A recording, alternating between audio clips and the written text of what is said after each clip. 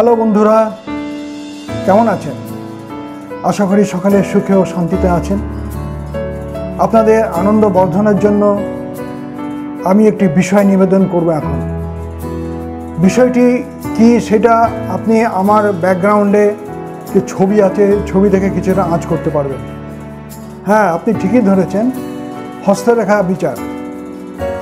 এই হস্তরেখা বিচারের ওপরে আমি কিছু আলোচনা করব এবং উপস্থাপনা করব। আমি পিকে মৈত্র আমার একটা ছোট্ট ডিগ্রি আছে, শাস্ত্রী, সামুদ্রিক। অনেকে জানেন, সামুদ্রিক মানে হচ্ছে হাতের রেখা চিহ্ন সহ দেহের নানা চিহ্ন। বিচার করে ভাগ্য বলা। এখন ভাগ্য কে না জানতে চায়? সকলের ইচ্ছা, তার জীবনটা কেমন যাবে? সে কেমনভাবে জীবন অতিবাহিত করবে? কোন কাজ সে পাবে? পড়াশোনা কতখানি হবে নানা কিছু তার জাগে জানতে ইচ্ছা করে এবং অনেকেই এই জানার জন্য বইও পড়ে ফেলে অনেকটা। কিন্তু ব্যস্ততার জন্য এবং এই গতিমান সমাজে বই পড়ে কোনো বিষয়ে পটু হওয়ার আগেই তাকে কর্মজগতে বা খেলা, পড়াশোনার জগতে অনেক সময় নিবেদন করতে হয় বা ব্যয় করতে হয়। তার ফলে তাদের পুরো বইটা হয়ে ওঠে না, শখ থাকলেও তাদের শেখা হয়ে ওঠে না। আমি পঞ্চাশ বছরের অভিজ্ঞতায় বুঝতে পেরেছি হস্তরেখার কিছু যথার্থতা আছে এবং নিপুণভাবে অভিজ্ঞভাবে অভিজ্ঞতা অর্জন করলে এই বিদ্যা দ্বারা আপনি সকলকে তাক করে দিতে পারেন হাতের রেখা থেকে ভবিষ্যৎ বলে বা বর্তমান বলে বা অতীত বলে। এই সামুদ্রিক স্বাস্থ্যটি অতি নিরস ও সামান্য জটিল, এই কারণে সকলে আয়ত্ত করতে পারে না। আয়ত্ত করতে গেলে তাকে পড়াশোনাটা করতেই হবে কন্টিনিউয়াসলি তার সাথে সাথে প্র্যাকটিসও করতে হবে। এবং এই প্র্যাকটিসটা ভীষণ প্রয়োজন, কারণ হাতের রেখা পৃথিবীর সমস্ত মানুষের একই স্ট্রাকচারের একই রকম দেখতে হলেও তারতম্য আছে, সূক্ষ্মতম তারতম্য আছে। এই সূক্ষ্মতম তারতম্য বিচার করলেই বোঝা যাবে তার ভাগ্যটা কেমন আপনি এবং সেটা বলে দিতে পারবেন। এইটা নির্ভর করছে আপনার অতীতের কেমন অভিজ্ঞতা আছে। নাস্তার দামুস থেকে শুরু করে কিরো এবং অনেক অভিজ্ঞ ও বিখ্যাত লোক পৃথিবীতে হস্তরেখা বিচার বিবেচনা করে বিখ্যাত হয়ে গেছেন, যশ অর্জন করেছেন, অনেকে তো অর্থ অর্জনও করেছেন। আপনিও সেটা পারেন, সকলেই পারে। কিন্তু মানুষ এত গতিময় হয়ে গেছে যে এক জায়গায় বসে বই পড়ে সব কিছু রপ্ত করা বড়ই মুশকিল হয়ে দাঁড়িয়েছে। এই জন্য আমি সিদ্ধান্ত নিয়েছি, এই হস্তরেখা বই থেকে বার করে এই বিদ্যাটাকে আমি নেট দুনিয়ায় ছড়িয়ে দেব। যাতে আপনার হাতের মুঠোয় যে সেল ফোনটি থাকে, সেইটা দেখেই বা আপনারা রপ্ত করতে পারবেন। আপনার অবসর সময়ে বা যখন আপনি গাড়িতে চা, চাপেন বা জার্নি করেন, সেই সময়ে। এর ফলে কি হবে? আপনি আপনার যে সুপ্ত বাসনা ছিল, আপনি এই রহস্যটা ভেদ করবেন হাতের রেখার, সেইটা পূরণ হবে। আপনারা সকলেই জানেন, ইংরেজিতে হস্তরেখাকে বলা হয় পামিষ্টি। পামিষ্টি মানে পাম এবং মিষ্টি মানে রহস্য। এই রহস্য উদ্ঘাটন করা যায়, রহস্য উদ্ঘাটন করলে প্রতিটি মানুষের জীবনের অতীত, বর্তমান এবং ভবিষ্যতও বলে দেওয়া যায়। খুব সুন্দরভাবে। বিশেষত আমি যেমন শুরু করেছিলাম, যারা পড়াশোনা করছে বা ভবিষ্যতে ক্যারিয়ার তৈরি করবে, তাদের কীভাবে চললে সুবিধা হবে বা তাদের গাইডেন্স দেওয়ার জন্য। আমি সেইভাবে প্রফেশনাল জ্যোতিষ নই, কিন্তু আমি দেখেছি তাদের গাইডেন্স দেওয়ার পরে তারা তো ভালো চাকরি পেয়েছে, যথাযথ জায়গায় পোস্টিং পেয়েছে এবং ভালো পড়াশোনা করে উন্নতি লাভ করেছে। এখন সেল ফোন তো সকলের হাতেই থাকে। সেল ফোন আপনি পকেট, যখন অবসর সময় সেল ফোন বার করে আপনি আমার এই চ্যানেল থেকে চ্যাপ্টারগুলো বার করে বার করে আপনি পড়তে পারেন। আমার এই জ্যোতিষের এই হস্তরেখার বিদ্যাটি আমি আপনাদের নিবেদন করব প্রশ্ন উত্তরে। এইটাই প্রথম। বাংলা ভাষায় এই প্রথম প্রশ্ন ও উত্তরে। আমার অভিজ্ঞ ছাত্রছাত্রী, তারা আমাকে প্রশ্ন করবে আর আমি তার যথাযথ উত্তর দেব। প্রশ্ন উত্তরে হলে হয় কি, আপনাদের একটা ইন্টারেস্ট গ্রো হয় যে এই প্রশ্নটা করল আচ্ছা এর উত্তর কি হবে? তার ফলে আপনাদের হৃদয়ঙ্গম করতে সুবিধা হয়। হাত দেখা বহু লোকেরই ইচ্ছা থাকে, কিন্তু হয়ে ওঠে না। ভবিষ্যতে আপনারা যারা এই বিদ্যা রপ্ত করে যথেষ্ট প্রভাবশালী হয়ে উঠবেন, আপনি যশও পাবেন, অর্থপ্রাপ্তি হবে এবং তার ফলে আপনাদের যথেষ্ট প্রশান্তি আসবে, মনের একটা শান্তি আসবে যে হ্যাঁ আমি একটা বিদ্যা শিখলাম। সমীর ও সাথী, তোমাদের অশেষ ধন্যবাদ। হস্তরেখা বিচারের এই দুর্ঘ শাস্ত্রটি সম্পূর্ণ দশটি অধ্যায় অতি সহজভাবে সাধারণ মানুষের বোধগম্য করে পরিবেশন করতে সহায়তা করার জন্য। এখন বাকি রইল মুখমণ্ডল বিচার করে মানুষের চরিত্র কি করে বলা যায় তা সাধারণ মানুষকে বোঝানো। এই বিচারটিকে বলা হয় সামুদ্রিক বিচার, যা নিয়ে আমি শাস্ত্রী করেছি। এই সামুদ্রিক বিচারটাকে ইংরেজিতে বলে ফিজিওগনমি। চলো শুরু করা যাক। তবে বলে রাখি, এই অধ্যায়টি শেষ হবে অতি প্রয়োজনীয় একটি বিষয় নিয়ে আলোচনা করে যা মানুষের গ্রহ দোষ নিরাময় ও নিবারণ করতে সাহায্য করবে। তোমাদের প্রশ্ন এখন। স্যার কোনো ব্যক্তির চরিত্র সম্বন্ধে জানতে হলে কি উপায় জানা যায়? এটা জানবার জন্য আমার প্রচন্ডই কৌতূহল হচ্ছে। খুব ভালো কথা বলেছ। সমীর, তুমি খুব ট্যালেন্টেড জ্যোতিষ, কাজেই তোমার থেকে এই ধরনের প্রশ্ন আমি আশা করেছিলাম। যেন কোনো ব্যক্তির মুখমণ্ডল পরীক্ষা করলে তার চরিত্র সম্বন্ধে জানতে পারবে। এই বিজ্ঞান শাস্ত্রটিকে তো আগেই বলেছি, ফিজিওগনমি বলা হয়। এই সম্বন্ধে মনে রেখো যে চোখ দুটো নাক এবং অধরষ্ঠ এই তিনটি চরি তিনটি থেকেই চরিত্রের গুণাগুণ ব্যক্ত করা যায়। আর প্রশ্ন আছে? এই বিজ্ঞান শাস্ত্র সম্বন্ধে কিছু উপদেশ আপনার কাছ থেকে শুনতে ইচ্ছে করছে। এই সম্বন্ধে যা বলছি মন দিয়ে শোনো। করতলে যেমন গ্রহগণের নির্দিষ্ট স্থান আছে সেরূপ মুখমণ্ডলেও গ্রহগণের নির্দিষ্ট স্থান আছে। শনি রেখা হচ্ছে কেশের তলায়। কপালের উপরে এই যে রেখাটি আছে, এটা শনি রেখা বৃহস্পতি রেখা, শনি রেখার ঠিক নিচে। এই রেখাটি বৃহস্পতি রেখা। মঙ্গল রেখা বৃহস্পতি রেখার নিচে। রবি রেখা ডান দিকের ভুরুর কিছুটা উপরে, ডান দিকের ভুরুর কিছুটা উপরে। আর চন্দ্রের রেখা হচ্ছে বাম ভুরুর কিছুটা উপরে। শুক্রের স্থান হচ্ছে দুটো ভুরুর মাঝখানে। বুধের স্থান হচ্ছে নাকের মাঝ মাঝ বরাবর। বুঝতে পেরেছ?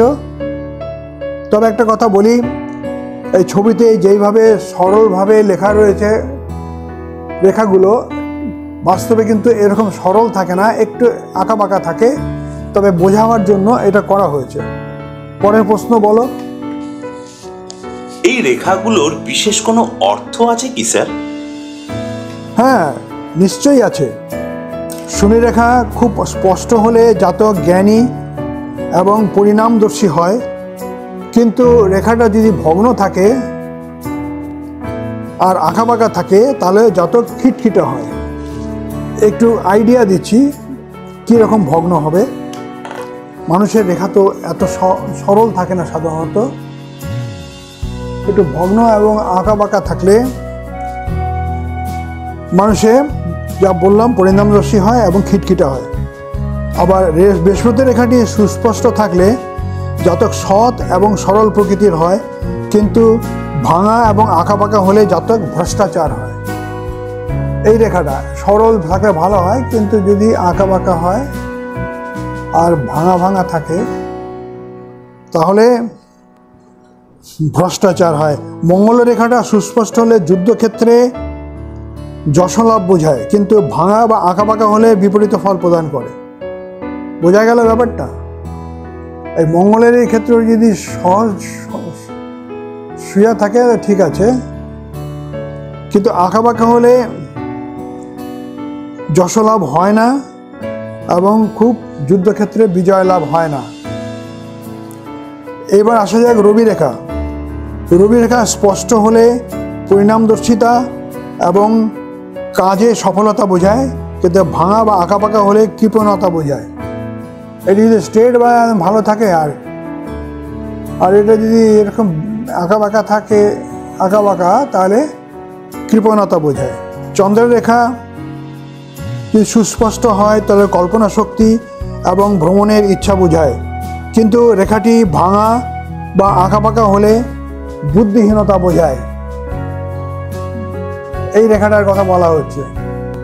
শুক্রস্থানে রেখা সুস্পষ্ট থাকলে জাতক মধুর প্রকৃতির হয়। এসব জায়গায় এরকম রেখা থাকে, স্পষ্ট। আর পারিবারিক সুখ ভোগ করে, কিন্তু ওই রেখা ভগ্ন বা আঁকা বাঁকা হলে জাতক প্রকৃত প্রণয়ে বঞ্চিত হয়। এবার আসি বুধের কাছে। বুধের স্থানে দু তিনটি রেখা সুস্পষ্টভাবে থাকলে বাগ্নিতা বোঝায়, কিন্তু বহু রেখা থাকলে বাচালতা বোঝায়। কিন্তু এখানে যদি অনেক রেখা থাকে, তাহলে বাচালতা। এইবার নেক্সট প্রশ্ন করো। স্যার এখন কথা হচ্ছে কোনো ব্যক্তির চরিত্র বোঝবার সময় ললাট নিরীক্ষণ করাও কি প্রয়োজন? হ্যাঁ করলে তো খুবই ভালো হয়। কারণ তুমি কাউকে তো হট করে হাত দেখতে পারো না। কাজেই তোমাকে তাকে স্টাডি করতে হবে তার মুখমণ্ডল দেখে। তুমি যদি খুব পটু হও বা এই সমস্ত শাস্ত্রে খুব এক্সপার্টাইজ হয়, তাহলে তুমি তোমার বুদ্ধি প্রয়োগ করে তার চরিত্রটা বা অনেকটা আঁচ করতে পারবে। এই জিনিসটা তোমরা অনেকটা শুনেছ বিহেভিয়ারাল সায়েন্স মানুষের ব্যবহার দেখে বুঝতে পারা লোকটি কেমন। কাজেই তেমনই মুখমণ্ডল দেখে বুঝতে পারাটা কেমন তা বুঝতে পারবে। কারণ এই, এটা একটা মনে রাখবে যে- যদি কপাল চওড়া হয় এবং এই পাশটা যদি উঁচু হয় এবং চওড়া হয়, তাহলে তীক্ষ্ণ বুদ্ধি হয় এবং পড়াশোনায় যত্নপর হয়। পরের প্রশ্ন। কিন্তু ললাট দেশ যদি প্রশস্ত না হয় এতে বুদ্ধিহীনতা বোঝায়, বিশেষত ললাট যদি কুঞ্চিত না হয়। অর্থাৎ যদি কপালটা ভাঁজ করার ইচ্ছা হয় বা কুঞ্চিত করা যায়, সেটা যদি না হয়, তাহলে বুদ্ধিহীনতা বোঝায় ফ্লেক্সিবিলিটি থাকে না। পরের প্রশ্ন বলো। এখন দয়া করে চক্ষু, নাসিকা এবং অধরষ্ট সম্বন্ধে কিছু উপদেশ দিন। আপনি তো বলেছেন, চরিত্র সম্বন্ধে বুঝতে গেলে সেগুলি বিশেষ দরকার। হ্যাঁ প্রথমে চক্ষুর সম্বন্ধে বলি। দেখো, দুটো চক্ষুর বহু কথা ব্যক্ত করে। চোখ দেখে তোমরা হয়তো বুঝতে পারো কি বলতে চায়। কিন্তু আমি তোমাদের কিছু কিছু প্রধান ঘটনাগুলো বলব, কেননা বিশদভাবে বলতে গেলে বিষয়টি অতি জটিল ও বিরক্তকর হয়ে পড়বে।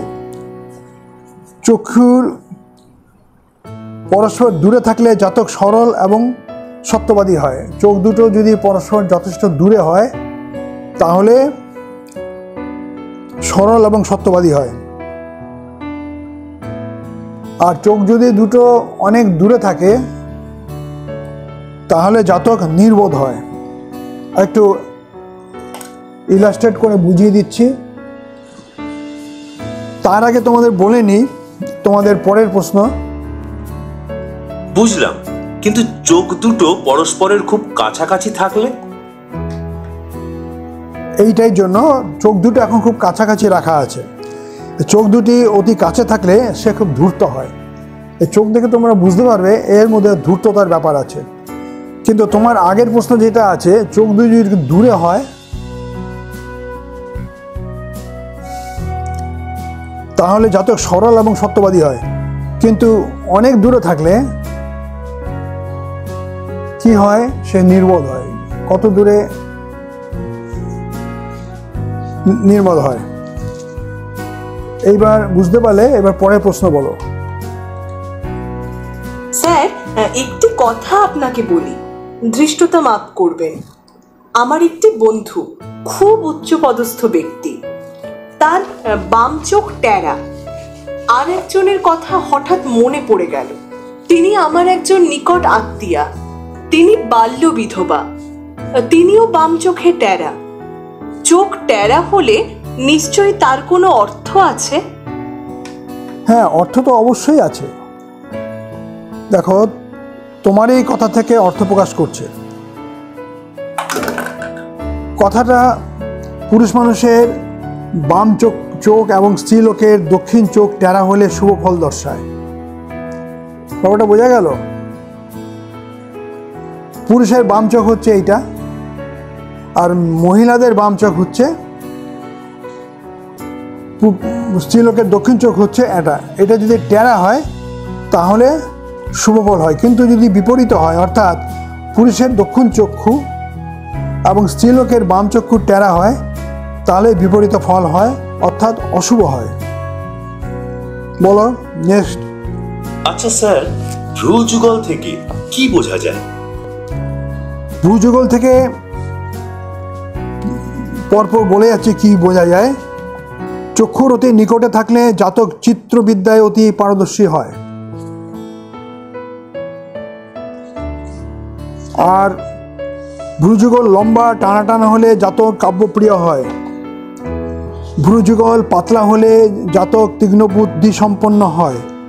ভ্রু মোটা এবং জোড়া হলে জাতক সৌভাগ্যশালী এবং নির্মল চরিত্র হয়। ভূযুগলের মধ্যবর্তী স্থান প্রশস্ত হলে জাতক শক্তিমান, সরল প্রকৃতি, দানশীল এবং অস্থির স্বভাবের হয়। মনে থাকবে? আর একবার বলব, দেখো ভ্রুযুগল চক্ষুর অতি নিকটে থাকলে জাতক চিত্রবিদ্যায় অতি পারদর্শী হয়। ভ্রুযুগল লম্বা, টানা হলে জাতক কাব্যপ্রিয় হয়। ভ্রুযুগল পাতলা হলে জাতক তীক্ষ্ণ বুদ্ধি সম্পন্ন হয়। ভ্রুযুগল মোটা এবং জোড়া হলে জাতক সৌভাগ্যশালী এবং নির্মল চরিত্র হয়। ভ্রুযুগলের মধ্যবর্তী স্থান প্রশস্ত হলে জাতক শক্তিমান, সরল প্রকৃতি, দানশীল এবং অস্থির স্বভাবের হয়। চলে এবার আমরা নাসিকা সম্বন্ধে আলোচনা করি। নাসিকা সম্বন্ধে আপনার যা কিছু বলবার আছে, দয়া করে বলুন। নাক সম্বন্ধে কতগুলো কথা মনে রেখো। যে সকল ব্যক্তির নাক প্রারম্ভে খিলানের মতো, বক্রাকার, তাহারা দৃঢ় প্রতিজ্ঞ হয়। প্রারম্ভে, অর্থাৎ এই যদি কপাল হয়, এখানে খিলানের মতো নাক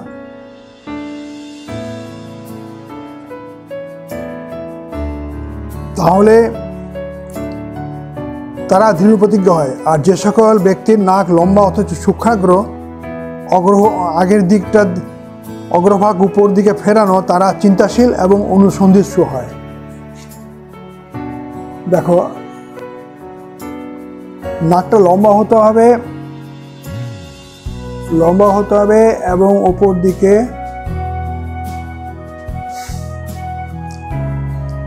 তারা চিন্তাশীল এবং অনুসন্ধিৎসু হয়। পরের প্রশ্ন। কিন্তু সামনের দিকটা যদি নিচের দিকে ঝুঁকে থাকে? দেখো এই নাকটা যদি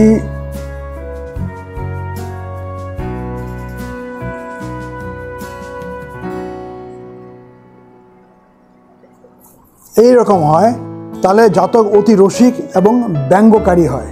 পরের প্রশ্ন।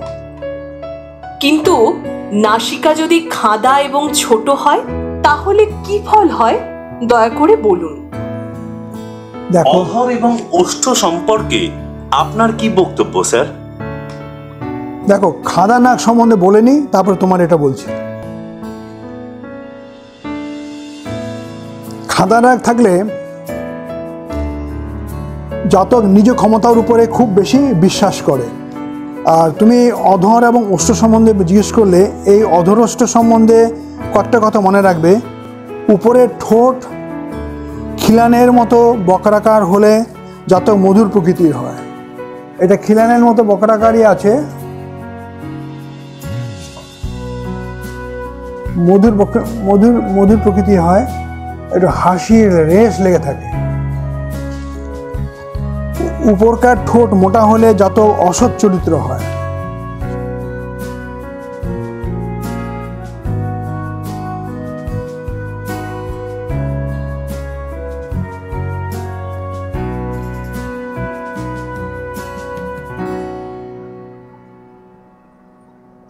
উপরের ঠোঁটটা যদি মোটা হয়, তাহলে অসৎ চরিত্র হয়। আর উপকার ঠোঁট পাতলা হলে যত অলস এবং ইন্দ্রিয় পরায়ণ হয়। দেখো, এটা জাস্ট উল্টো।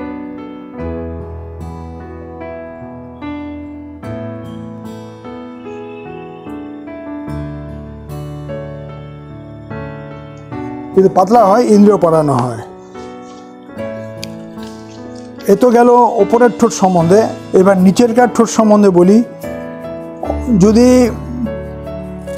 অধর যদি মোটা হয়, জাতক স্থূল বুদ্ধি সম্পন্ন হয়, কিন্তু দ্রব্যের আস্বাদন সম্বন্ধে তার জ্ঞান খুব বেশি হয়।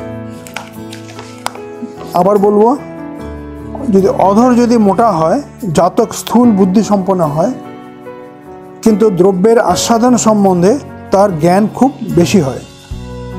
কাজেই যারা টেস্টার, যেমন চায়ের টেস্টার যে কোনো জিনিস খাবারের টেস্টিং করা হয়, যাতে মোট ঠোঁট- ঠোঁটটা যারা মোটা হয়, তারা খুব ভালো পারে এই বিষয়টা। এই যে ছবিতে যা দেওয়া আছে এটা অধরটা খুব মোটা। পরের প্রশ্ন। কোনো কোনো ব্যক্তির ঠোঁট একেবারে বুজানো, আবার কারও কারও ঠোঁট খোলা। দাঁত পর্যন্ত দেখা যায়। এর কি অর্থ? দয়া করে বুঝিয়ে দিন। ধরে নি এই এনার এনার মুখ এই ছবির যে ঠোঁট একদম বোঝানো। তাহলে আমরা ধরে নেব যে সংযত বাক অর্থাৎ কথা বলার আগে দুবার ভাবে। আর যদি কথা বলে, তো একবারই বলে। আর যদি ঠোঁটটা খোলা থাকে।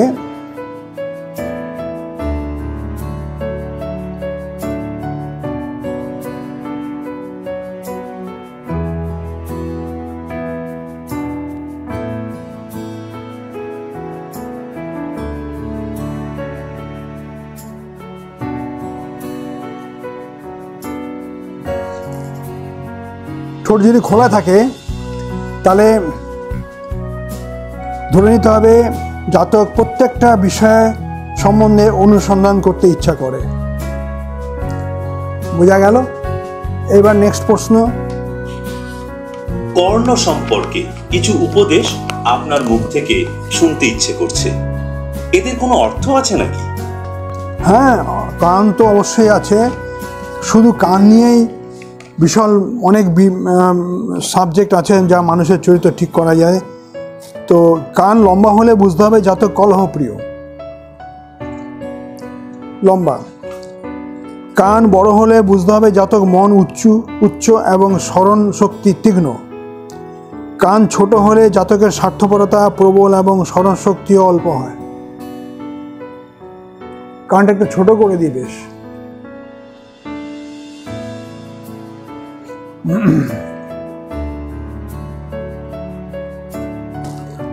কান ছোট হলে স্বার্থপরতা এবং স্মরণশক্তি অল্প হয়। কান বেশি ছোট হলে জাতক কামাতুর হয়।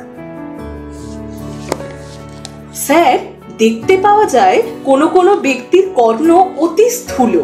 এর কোনো বিশেষ অর্থ আছে কি? কর্ণ স্থূল হলে জ্ঞানের অভাব বোঝায়। বলো মুখমণ্ডলে তিল চিহ্ন থাকলে বিশেষ কোনো অর্থ প্রকাশ করে কি, স্যার? এই তিল সম্বন্ধে অনেক কথা বলার আছে, তবে শোনো তুই বেশি কিছু বললে তোমার হয়তো ধৈর্য থাকবে না, অতএব আমি প্রধান কয়েকটি তিলের অর্থ তোমাকে বলছি। দেখো, বাম ভুরুর ঠিক উপরে তিল থাকলে বুঝতে হবে জাতক কোনো স্ত্রীলোক কর্তৃক কষ্ট পড়বে। বাম ভুরু কোনটা? এইটা। এই যে ভুরুর উপরে লাল চিহ্ন আছে ঠিক আছে। ভ্রুর নিচে তিল থাকলে কি বুঝতে হবে? ভ্রুর নিচে তিল জীবনব্যাপী দুঃখ দারিদ্রের পরিচায়ক।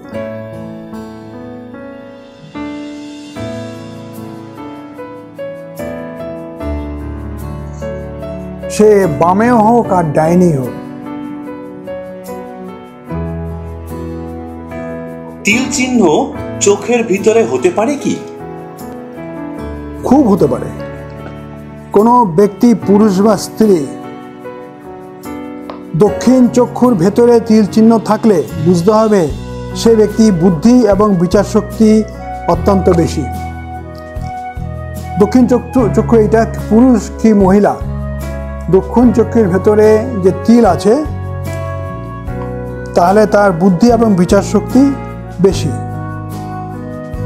আমার কোনো আত্মীয়ার ডান চোখের কোণে তীর চিহ্ন আছে। এর অর্থ কি স্যার? কোনো স্ত্রীলোকের ডান চোখের কোণে তিল চিহ্ন থাকলে বুঝতে হবে যে তার অপেক্ষাকৃত বড় ঘরে বিবাহ হবে। এই যে এই তিলটা এ- এই যদি কখনো দেখা যায় তার চক্ষুর ডান চোখের কোনায় তিল তাহলে বড় ঘরে বিবাহ হবে। আচ্ছা যদি মহিলাদের বাঁ চোখের ভেতর তিল চিহ্ন থাকে? এই ক্ষেত্রে বাম চক্ষুর ভেতর কোণে, অর্থাৎ নাসিকার দিকে যদি তিলটি থাকে, তাহলে বুঝতে হবে যে জাতিকার বাল্যকালে অনেক প্রকার কষ্ট গিয়েছে। অর্থাৎ দেখুন, বাঁ চোখের এই ভেতর, নাসিকার দিকে, এইখানে যদি তিলটা থাকে। অর্থাৎ বাল্যকালে খুব কষ্টে গেছে। কিন্তু যদি বাম চক্ষুর বাইরের কোণে অর্থাৎ কানের দিকে তিলটি থাকে, তাহলে জাতিকা জল, জলমগ্ন হয়ে মারা যাবে। এই তিলটা। বাঁ চোখের কোনো মহিলার বাঁ চোখের এইখানে তিল থাকলে খুব ডেঞ্জারাস ব্যাপার, জলমগ্ন হয়ে মারা যাবে। কেবল তাই নয়, তার চরিত্র সম্বন্ধে সন্দেহের কারণ থাকবে। এই শেষোক্ত চিহ্নটি অর্থাৎ বাম চোখের বাইরের কোণের চিহ্ন। আমি একটি পুরুষ মানুষের দেখেছি। মহিলাদের চোখের ভেতরে থাকলে এর যে অর্থ, পুরুষ মানুষের বেলায়ও কি সেই অর্থ, স্যার? এটি একটি ভয়ঙ্কর ঘটনার পূর্ব সূচনা মাত্র। এরূপ থাকলে জাতক স্ত্রীর প্রতি নৃশংস ব্যবহার করবে। তার স্ত্রীর জীবনের মূল্য আছে বলে তার মনে হবে না। পরের প্রশ্ন বলো। এই চিহ্ন সম্পর্কে আপনার আরও কিছু বলবার আছে কি? হ্যাঁ। তোমাকে পূর্বে বলেছি যে তিল চিহ্নটি স্থান বিশেষে সুফলদাতা এবং কুফলদাতা হয়। এই দেখো কর্ণ মধ্যস্থ তিল ভাগ্য এবং যশের চিহ্ন।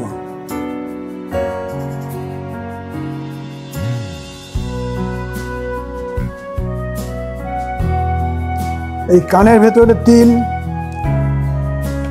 ভাগ্য এবং যশের চিহ্ন। গণ্ডস্থলে তিল দারিদ্রের পরিচায়ক অধরষ্টে তিল বিলাসিতা এবং লাম্পট্যের সূচনা করে।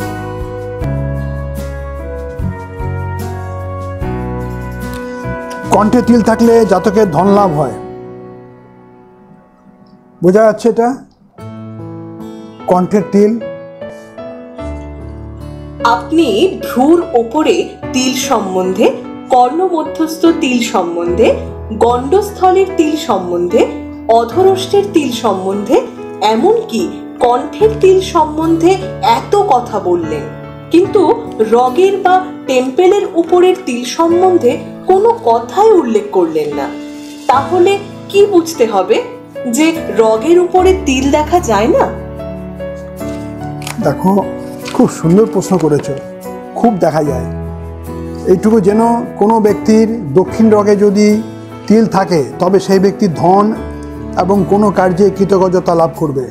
সে ব্যক্তি স্ত্রীলোকেরও প্রিয় হবে। দক্ষিণ রগ হচ্ছে এইটা।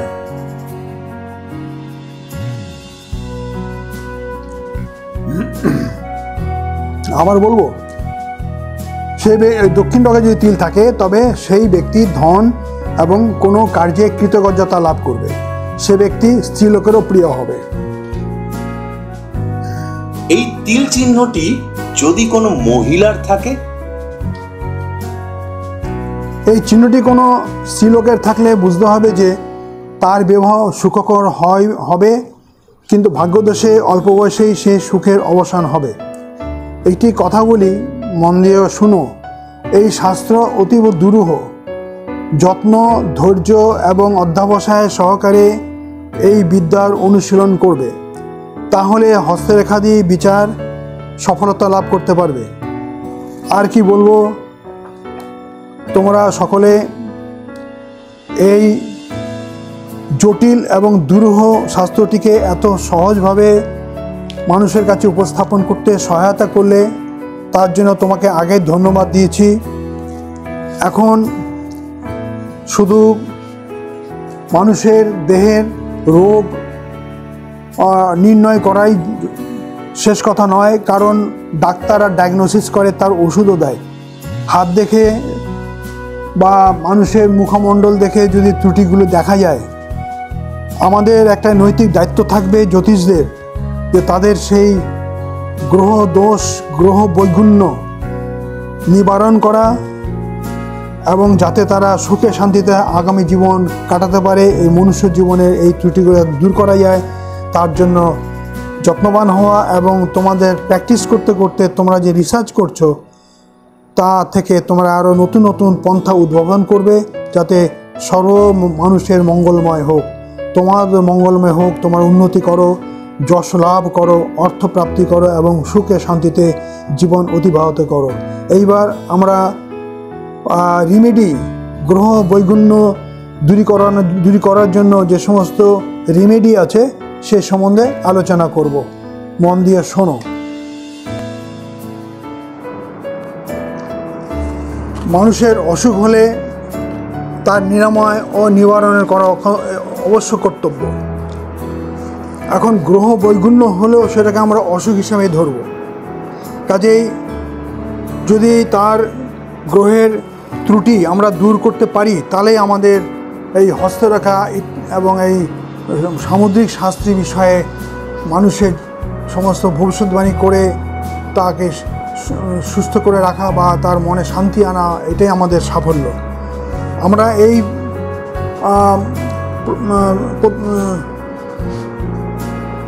অধ্যায়ে আলোচনা করব গ্রহদোষ নির্ণয়ের পদ্ধতি। গ্রহদোষ নিবারণের পদ্ধতি। কোন গ্রহের পিতার্থে কোন রত্ন লাগে?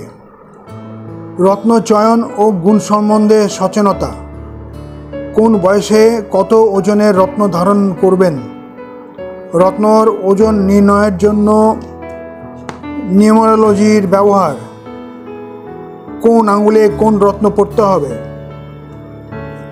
এর বিকল্প ব্যবস্থা কি? যেমন কোন গ্রহের পিতার্থে কোন মূল প্রয়োজন? কত পরিমাণ মূল দরকার? কতদিন পর পর মূল পরিবর্তন করতে হবে? দেহের কোথায় মূল ধারণ করবেন? এখন আমরা আলোচনা করছি যে এই যে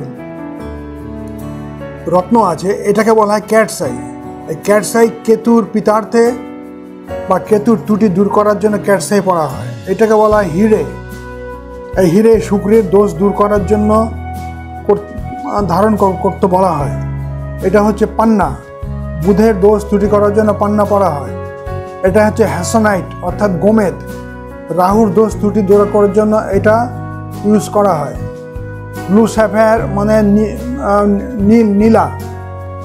ইন্দ্রনীলা যাকে বলা হয়, এই নীলা হচ্ছে শনি গ্রহের পিতার্থে ব্যবহার করা হয়। রেড কোরাল মানে মঙ্গল গ্রহের পিতার্থে ব্যবহার করা হয়। পার্ল হচ্ছে চন্দ্রের ত্রুটি দূর করার জন্য পড়ানো হয়। ইয়েলো স্যাফেয়ার মানে পিতপোকরাজ পিতপোকরাজ হচ্ছে বৃহস্পতির ত্রুটি দূর করার জন্য পড়া হয়। রুবি অর্থাৎ চুনি, এটা রবির ত্রুটি দূর করার জন্য পড়ানো হয়। আর রুদ্রাক্ষ হচ্ছে তার একটা শাস্ত্রীয় মালার একটা বিট সেটা আপনারা নিজস্ব বিশ্বাসে পড়বেন, এটা রত্নের মধ্যে পড়ে না। যাই হোক, কীভাবে আপনারা ঠিক করবেন, আপনার কোন গ্রহ খারাপ বা কি খারাপ, এই এইখানে একটা আপনাদের নির্ভর করতে হবে বিশিষ্ট হস্তরক্ষা বিশারদ অথবা জ্যোতিষকে, যারা বলে দেবে আপনার কি পাথর দরকার। যে কোনো অর্ডিনারি লোক বা সাধারণ লোক যারা অল্প শিক্ষিত বা হাফ শিক্ষিত তাদের দিয়ে এই কাজগুলো করাবেন না, তাহলে ক্ষতি হতে পারে। রত্ন চয়ন, খুব ভালো রত্ন কিনতে হবে, খুব স্বচ্ছ রত্ন কিনতে হবে, এবং যেটার মধ্যে ত্রুটি নেই, কোনো দাগ নেই বা ক্র্যাচ নেই সেটা, এবং রত্ন দেখলে আপনার মনে একটা প্রীতি আসবে যে, মা, ভালো, রত্নটা খুব ভালো। তো রত্ন দোষ কী করে আপনি ঠিক করবেন? প্রথমত হাত দেখে অথবা আপনাদের লগ্নপতি যে সেটা কম্পিউটার থেকে বা কোনো জ্যোতিষ থেকে বা আপনার কুর্সি থেকে জেনে নেবেন, লগ্নপতি কি? লগ্নপতি কোন গ্রহ? দ্য লর্ড অফ দ্য লগ্ন সেই লগ্নপতিকে কৃত করার জন্য একটা গ্রহ সারা জীবন পড়ে থাকতে হবে। আর ভালো জ্যোতিষ বা হস্তরেখা বিশারদ হলে তারা সিমটম দেখে বলে দিতে পারবে আপনার কী রত্ন লাগবে। কী ধরনের অ্যাকশন হচ্ছে, আপনার জীবনে কী ধরনের ঘটনা হচ্ছে, এগুলো পর্যবেক্ষণ করে কোন কোন সিমটম থাকলে কোন কোন রত্ন দিতে হয়, সেই বিষয়ে আপনাকে তারা সাহায্য করবে। এইবার কোন বয়সে কত ওজনের রত্ন ধারণ করবেন, সেটা আমরা পরে আলোচনা করছি।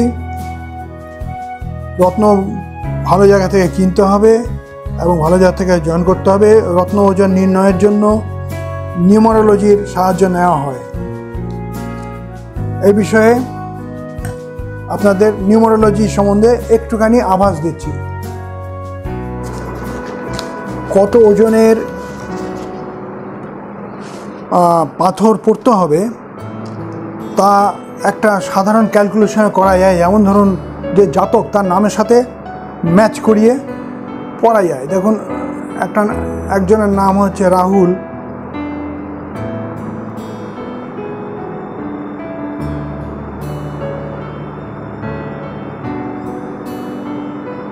শর্মা।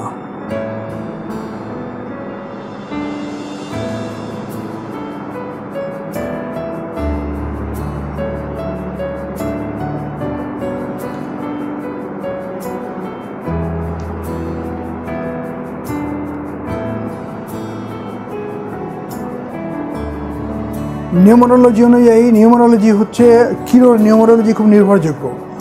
প্রতিটি ইংরেজি অক্ষরে একটা ভ্যালু আছে R equal to two one equal to one H equal to five U equal to six L equal to three এই সবকটা অঙ্ক যোগ করলে দাঁড়ায় তিন তিন, ছয় বারো, তেরো, চোদ্দ, পনেরো, ষোলো, সতেরো।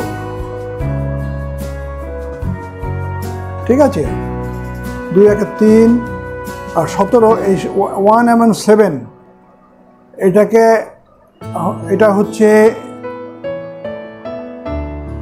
দুটো যোগ করলে দাঁড়ায় আট। ঠিক আছে?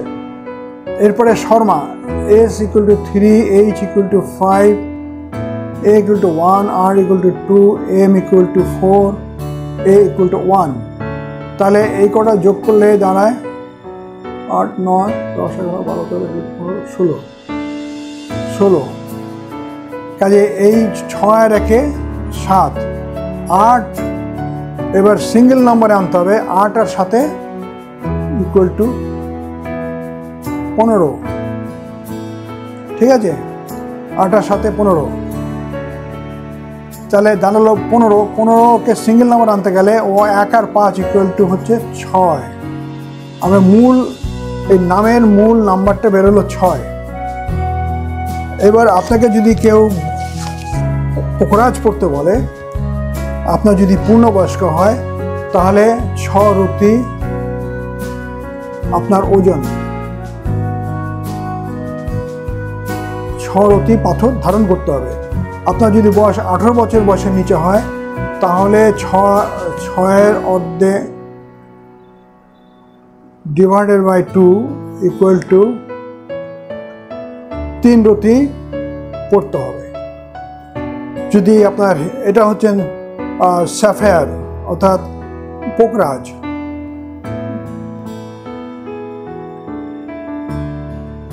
যদি হিরে পড়তে বলে, তাহলে ছয় সেন্ট পূর্ণবয়স্ক।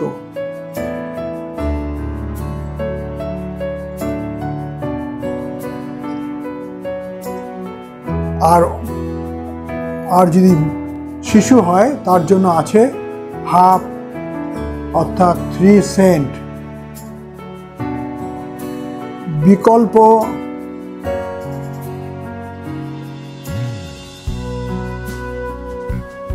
হচ্ছে জিরকন।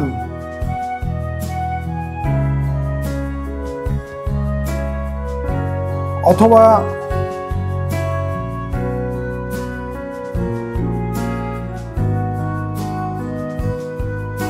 শ্বেত প্রবাল এই বিকল্প ব্যবস্থা দিতে গেলে উপযুক্ত এবং খুব বিচক্ষণ জ্যোতিষের পরামর্শ করে দেওয়া দরকার। কাজে এটা হচ্ছে পাথরের ওজন নির্ণয় করার একটা পন্থা। তবে যেমন এগুলো হচ্ছে ট্রান্সপারেন্ট স্যাফায়ার গ্রুপে যদি পলা নিতে হয় পলা যেহেতু ক্যালকেরিয়া থাকে, এর ভেতরে এটা ক্ষয় হয় বেশি। কাজেই ওর মূল যে নেম নাম্বার ছয়, তার দুগুণ নিতে হবে, অর্থাৎ বারো রতি এটা হচ্ছে স্বাভাবিক নিয়ম এবং অথেন্টিক নিয়ম। কিন্তু বিচক্ষণ যে সমস্ত জ্যোতিষ আছে, তারা পরিস্থিতি বুঝে এর ব্যবস্থা করে। কিছুটা বোঝা গেল? এবার আসব আমরা কোন আঙুলে কোন রত্ন পড়তে হয়। আপনাদের অনেক কনফিউশন আছে, কোন হাতে আমি কোন পাথরটা পরব আপনি এই যে চার্ট আছে, এই চার্টটা একটু দেখে নিন, ভালোভাবে। যদি আপনাকে কেউ মুক্ত পড়তে বলে, চন্দ্রের জন্য অথবা পান্না পড়তে বলে, তাহলে মুক্ত এবং পান্নার হচ্ছে কেড়ে আঙুল বা কনিষ্ঠ আঙুল। মনে থাকবে? মুক্তা এবং পান্না। এরপরে যদি রবির জন্য রুবি দেয়, আর তার জন্য মঙ্গলের জন্য যদি আবার পলা দেয়, যেহেতু দুটোই লাল রং, লাল রঙের রবির যে আঙ্গুল আছে অনামিকা অনামিকাতে পড়তে হবে। পলা, যদি কেউ পলা সাজেস্ট করে আপনার পলা পরার প্রয়োজন হয়, তাহলে এই হাতে পড়বে পলা পরবেন অথবা চুনি এই অনামিকায় পড়বেন এখন কথা হচ্ছে অনেকের অনেক পাথর পড়তে হতে পারে। সেক্ষেত্রে আপনি অনামিকা যদি আপনার বাঁহাতে খালি থাকে বাঁহাতে একটা পরে নিতে পারবেন। এরপরে আসে মধ্যমা। মধ্যমার অনেক লোড আছে। মধ্যমাকে নির্ভর করতে হয় অনেক কিছু। যেমন ধরেন হিরে। হিরে তো অ্যাকচুয়ালি শুক্রের। শুক্র তো বৃদ্ধ আঙ্গুলে তো পড়া যায় না। সেক্ষেত্রে হিরে পড়তে হবে মধ্যমাতে। যদি আপনাকে কেউ কেতুর দূর করার জন্য কোনো পাথর সাজেস্ট করে, তাহলে আপনি মধ্যমাতে পড়বেন। কেউ যদি নীলার জন্য পাথর দেয় নীলা দেয় শনি গ্রহের জন্য। এটা শনি গ্রহেরই আঙুল, আপনি অবশ্যই শনি গ্রহের জন্য আঙুলে পড়বেন। আর যদি গোমেদ দেয় গোমেদ এই আঙুলে পড়ার নিয়ম, তবে অনেকে, যেহেতু গোমেদটা লাল রঙের, অনেকে এই আঙুলও প্রিফার করে। তবে শাস্ত্রীয় যে পন্থা ব্যবস্থা করা রয়েছে, সেটা এখানে করবে এরপরে আসি পোকরাজ। পোকরাজটা হলুদ। এই হচ্ছে তর্জনী। পোকরাজ বৃহস্পতির জন্য এই আঙুল প্রশস্ত। কাজে এইটা ফলো করবেন, তাহলে আপনারা কনফিউশনে থাকবেন না। এইবার আসা যাক গ্রহমূল দিয়ে গ্রহের ত্রুটি দূর করা বা গ্রহ প্রকোপ দূর করা। আপনাদের অনেকের ধারণা আছে, গ্রহতে গ্রহ গ্রহ ত্রুটি দূর করার জন্য, গ্রহ গ্রহ বৈগুণ্য দূর করার জন্য গ্রহমূল কি প্রশস্ত বা কাজ হয়? না, পাথরে বেশি কাজ হয়। আপনাকে আমি একটা কথা বলি। আমাদের দেশের আপামর জনগণের অধিকাংশ মানুষই অর্থ আর্থিক দিক থেকে অত সচ্ছল নয়। কাজেই সকলের পক্ষে উৎকৃষ্ট রত্ন পড়ার ক্ষমতা থাকে না। তাই বলে কি তারা গ্রহের দোষে ও কষ্ট পাবে? তা নয়। আমার নিজের অভিজ্ঞতায় বলেছি, বলছি। গ্রহমূলে যথেষ্ট মিরাকেল কাজ করানো হয়েছে। যথেষ্ট মিরাকেল কাজ। বললে অনেক বিরাট লম্বা লিস্ট হয়ে যাবে। যেই ছেলে পরপর ব্যাংকে পরীক্ষা দিয়েছে, চাকরি পায়নি। আগের দিন সন্ধ্যাবেলা তার বাবা আমাকে বলল যে, আমি কী করব? সাথে সাথে তাকে আমি বললাম, ভোরবেলা যখন শেকরের ভদ্রলোকটি তার মূল নিয়ে বসবে, তার কাছে যাবেন, এই এই মূলগুলো নেবেন, দেখবেন বিকালবেলা যে রেজাল্টটা বেরোবে, ভালো করে মিলিয়ে দেখবেন। এবং তাই হলো, সে পাশ করল এবং ব্যাংকে চাকরি করে এখন ভালো করছে। এক ভদ্রলোক রেলের বিশাল অফিসার, তার মেয়েকে বিয়ে দিয়েছিল, একটা ভালো ইঞ্জিনিয়ার সাথে, কিন্তু ছেলেটি খুব ভালো নয়, আর মেয়েটি অত্যাচার করত। সে ডিভোর্সের চাইছিল, ভদ্রলোক আমাকে বলল, কি করা যায়? আমি বললাম, আপনি কি মূল দিচ্ছি, দেখুন, এই মূলে কাজ হবে বলে দেখুন। বলে, আমার কিন্তু পাথর কেনার ক্ষমতা আছে। বলে, থাক, সে ক্ষমতাটা আপনি রাখুন, আপনার কাজ হওয়া দিয়ে কথা। সে মূল মূল মূল দেওয়া হলো এবং স্পেশাল কেস হিসেবে তার ডিভোর্সটা স্যাংশন হয়ে গেল। এই ধরনের আরও অনেক আছে। বহু লোকের ছেলে বিদেশে চাকরি করে, কিন্তু তার চাকরি চলে গেছে ওখান থেকে, দুবাই থেকে। সে চলে এসছে এখানে। তিনি আমাকে বললেন, তিনি সে বদলে কেমিক্যাল ইঞ্জিনিয়ার ছিলেন, কিন্তু তার ছেলে সেখানে কাজ করতে করতে চলে এসে তার দুশ্চিন্তায় পড়ে গেছে, তার পেনশনের টাকা দিয়ে তার সংসার চালাতে হচ্ছে। তখন আমি তাকে বললাম যে, আপনি নিশ্চিন্তে থাকুন, এই এই মূলগুলো পড়ুন এবং আপনার বাড়ির সকলকে পড়িয়ে দিন। এবং তাই করল, ছেলেটি এক মাসের মধ্যে চাকরি পেল এবং সে দুবাইতে গেল। এরকম অনেক ঘটনা আছে, এখন এটা এই বেশি কিছু বলতে গেলে আমার ব্যক্তিগত প্রচার হবে। তবে আপনাকে একটা কথা বলি, যে সমস্ত জ্যোতিষ আমি দেখেছি, তাদের একটা জনকল্যাণের জন্য কতখানি তাদের অন্তর কাঁদে জানি না, তারা সবসময় একটা ভাবে কি করে তাকে রত্ন কিনিয়ে গ্রহের রত্ন কিনিয়ে তার পকেট খালি করা। তাদের একটা কমার্শিয়াল অ্যাঙ্গেল থাকে, কারণ তাদের উদ্দেশ্য থাকে কিছু আয় করা। কিন্তু এই যে পবিত্র কাজটি, যারা হস্তরেখা বা এই সমস্ত গ্রহ বৈগুণ্য সম্বন্ধে চর্চা করে, তারা যদি সৎভাবে থাকে, তাদের যে আর্থিক আয়ের উদ্দেশ্য নিয়ে যদি কাজ না করে, তাহলে তারা যা বলবে সেটা ফলবে এইবার আসুন আমরা গ্রহ মূলের পরিচিতিতে আসি। দেখুন এটা, চন্দ্রের জন্য আমরা খিরিকা মূল ব্যবহার করি। এই যে মূল মূল আছে, এটা খিরিকা মূল। এই খিরিকাটাকে আপনি সবসময় পাবেন নানা জায়গায় ঝোপঝাড়ে খুব মাঠের মধ্যেও আপনি এটা পেতে পারেন। এবারে রবির পিতার্থে, যারা রবি খুব কুপিত, তার জন্য এই বেলের শেকড়, বিল্লমূল। তারপরে অনন্তমূল, মঙ্গলের মঙ্গল যদি কুপিত হয়, তাহলে মঙ্গলের জন্য এই মূল অতি প্রয়োজনীয়। বুধের জন্য বৃদ্ধ দ্বারকা মূল এই মূল প্রয়োজনীয়। আর বৃহস্পতির জন্য ব্রহ্মদৃষ্টি। ঠিক আছে? মনে থাকবে, এটা একটা স্ক্রিনশট করে নিন। স্ক্রিনশট করে নিলে আপনার রেফারেন্স পাবেন। শুক্রের জন্য রামবাসক শনির জন্য শ্বেত বেড়ালা। এই শ্বেত বেড়ালা গাছটি পুরোপুরি গাছটা পাওয়া গেল না। এটা কিন্তু গাছের উপরেই হয়। মাঠে মাঠে ময়দানে নানা ঝোপঝাড়ে পাওয়া যায়। আপনি সব চিনতে পারলে দেখবেন আপনি পেয়ে যাচ্ছেন। এটাকে ভাজ শেকড়টাকে কেটে ভাজ করে রাখা হয়েছে। এরপরে দেখুন কেতুর জন্য অশ্বগন্ধা। এই অশ্বগন্ধার এই যে মূলর মতো যে কোমরটা, এটা খুব গ্রহের জন্য কাজে লাগে। মানুষের দেহের শরীর স্বাস্থ্য ভালো রাখার জন্য অশ্বগন্ধা হৃষ্ট করা হয়। এটা খুব কাজে লাগে।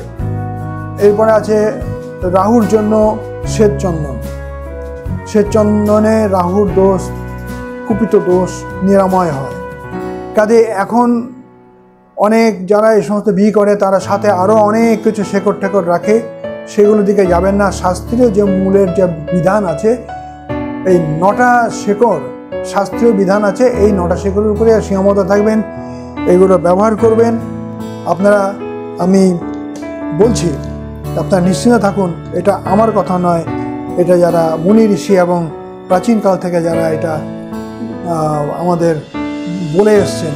তাদের কথা যদি বিশ্বাস করে এইগুলো ব্যবহার করেন, আমরা নিশ্চিন্তভাবে বলি যে আপনাদের রোগ নিরাময় হবে এবং গ্রহের যে কুপিত প্রভাব, সেটা থেকে আপনারা মুক্তি পাবেন। তবে আপনি কত, কতখানি নেবেন? দুই ইঞ্চি দুই ইঞ্চি করে যারা এটা দেয়, তারা দুই ইঞ্চি করে কেটে দেবে এবং যেই গ্রহের জন্য যেই সুতো দরকার, যেই রঙের সেই সুতো ওরা দিয়ে দেবে।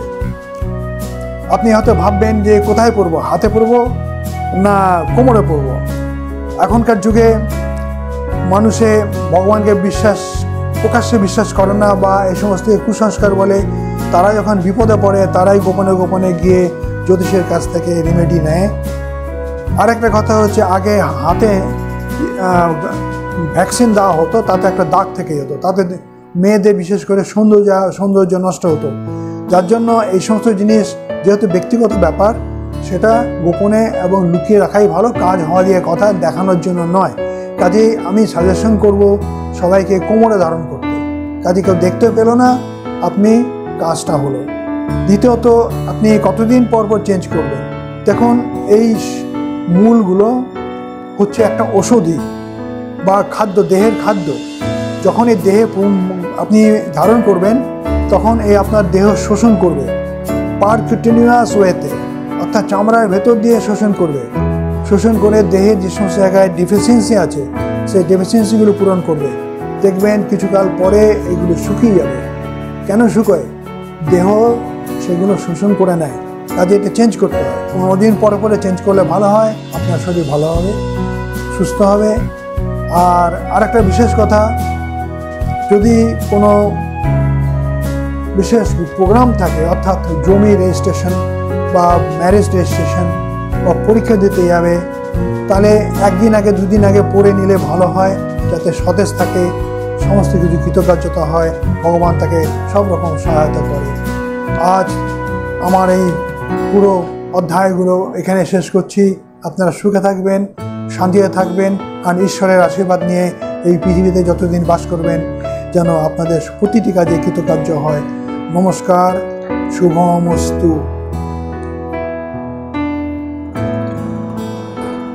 একটি অতি প্রয়োজনীয় কথা আপনাদের বলে রাখি।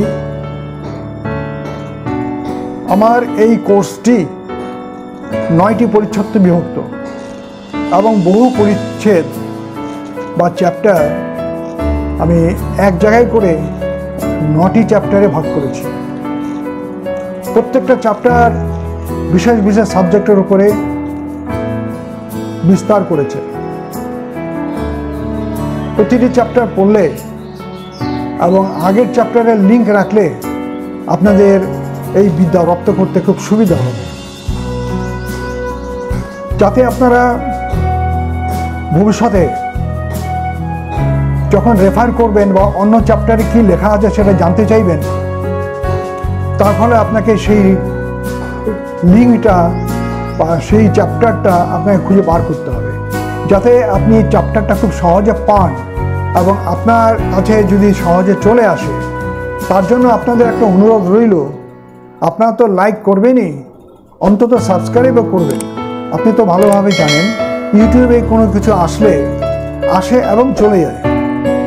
সেটা কবে ফিরে আসবে আপনি বুঝতে পারবেন না। কিন্তু আপনি যদি ঘন ঘন একই চ্যানেলে সব কিছু দেখেন বা বারে বারে তাহলে ইউটিউবের চ্যানেলের যে কর্মকর্তা বা সিস্টেম যে করে রেখেছে, আপনার কাছে সেই চ্যানেলের সেই এপিসোড বা চ্যাপ্টারগুলো উঠে আসবে। তাহলে আপনাদের অনুরোধ রইল যে আপনারা অন্তত লাইক এবং সাবস্ক্রাইব করুন। নমস্কার রইল। আপনাদের জ্যোতিষ শিক্ষার দিকে এগিয়ে যান। আমরা দেখব আপনারা কত উন্নতি করেন। এটাই আমার কাম্য।